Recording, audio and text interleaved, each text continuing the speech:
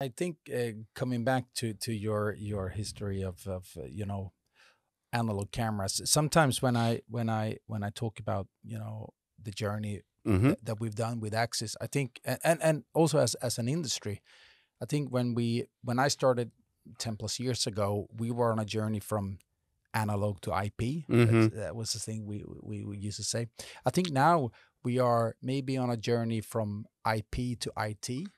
If that Correct. makes sense. That right? makes a so, ton of so, sense. So I think it's becoming more a conversation about edge computing and and and uh, and what what these devices can do because these are really powerful small Linux servers at the edge that that that that that, that creates a, a, a- a tremendous amount of value uh, with with low power, you know, privacy and everything. So uh, there's uh, there's a lot to it. That's why we don't call them cameras a lot of times anymore. We call them sensors Computer vision that happen to be able to Yeah. take a picture.